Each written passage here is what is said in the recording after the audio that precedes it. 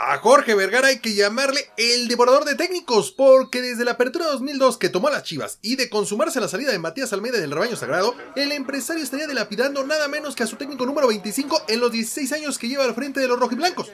Promedio de más de un técnico por año, con todo y que varios de los estrategas que han desfilado por el banquillo del llamado equipo más popular de México han vivido dos y hasta tres etapas con los tapatíos. José Manuel de la Torre es de los que ha repetido en el cargo, lo mismo que exfiguras como Benjamín Galindo e internacionales como Hans Westerhoff.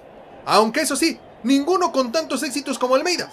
Así que no hay nada raro en el despido que se viene sobre Matías. Al menos no, si el dueño del chiverío se llama Jorge Vergara. Están invitados en una casa, respeten la casa.